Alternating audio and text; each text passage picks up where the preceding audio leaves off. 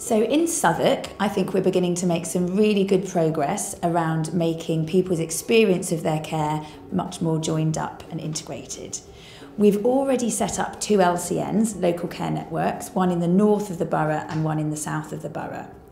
I think in Southwark we're in a very strong position because all of the organisations involved in providing and delivering health and social care are signed up and on board and really keen to begin to make this work. We're beginning to identify groups of patients that have the highest need and for example these are patients with three or more long-term conditions like diabetes, heart disease, depression. But we don't just want to concentrate on physical problems, we want our teams to look also at mental health problems, um, the wider social environment and other things that might be contributing to a patient's well-being. And then we want to use our local care teams, our teams of doctors, nurses, therapists, to work around the patient to help achieve their goals that they've set for themselves.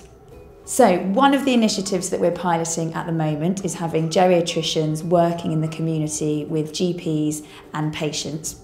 This means that they can see patients at home, help patients stay well in their homes for longer and hopefully keep patients out of hospital.